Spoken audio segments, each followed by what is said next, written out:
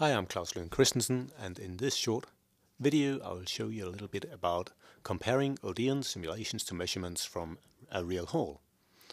Also, I'll show a little bit about sensitivity to changes in calculation parameters such as number of rays. I've opened the free demo version of ODEON Combined, which can be downloaded from our internet site at odeon.dk. This demo version includes the room seen on the screen, which is the Elmia Hall in Jönköping in Sweden. This room was used in the second round robin on room acoustical computer simulation. In this round robin, geometry, material data as well as source and receiver positions were provided by the organizers at PTB in Germany. Just as important, room acoustic parameters were measured using six receiver and two source positions, and measurements were conducted by a number of measurement teams forming a very reliable set of reference data. This example includes all the relevant input from the round robin, including measured parameters, which allows us to compare the simulations with the measurements. To make this demonstration, I've erased all the results from this room. We enter the room setup and specify the engineering setup, which gives us 8700 rays for the calculation. Then I'll enter the job list and make the first job calculation, which will calculate six source receiver positions.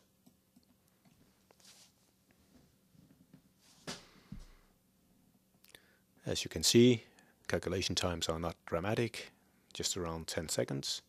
Now we're finished and we'll enter the multi-point response and look at the results. I enter the last tab sheet here where we have the measured versus simulated results.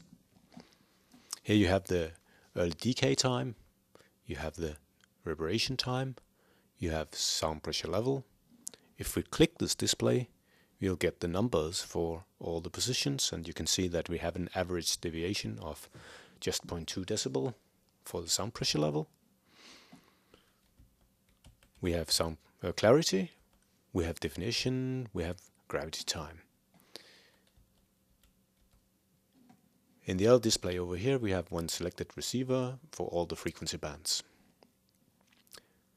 Now let's try to make this calculation with a number, another set of uh, rays.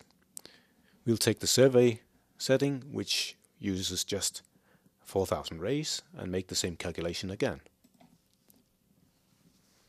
As you can see, this is fairly fast, a few seconds, and then we're there, and I'll enter the display again, and we can have a look at our parameters, and you can see that they're fairly similar, although we divided the calculation time by two. And we can enter the room setup again and take the precision setting, which will uh, ask for 40,000 rays and make the calculation one more time. This will of course take slightly longer, but uh, we can wait for that and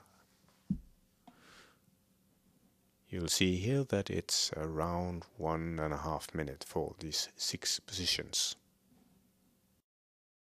The calculation is coming to an end and uh, we can enter the multi-point response again and have a look at our calculated results and how they compare to the measured ones. The measured and simulated results are fairly close to each other. It's a little bit better than before, but again, it's not a dramatic change we have, just as we would expect it to be. So you've seen uh, calculations carried out in the survey, the engineering and the precision setting in ODEON, which uses around 4, 8 and 40,000 rays. As you can see, there's not a dramatic difference between the simulated results. It's not like we get a completely different uh, result with another set of rays or another calculation setting as such. Um, and if you like to try this for yourself, changing parameters in ODEON and making calculations and see how it compares with the measured results, uh, you can do this with the demo version of ODEON, which includes this room and those measured results and such. Thank you for taking the time to watch this small video on reliability in Odeon.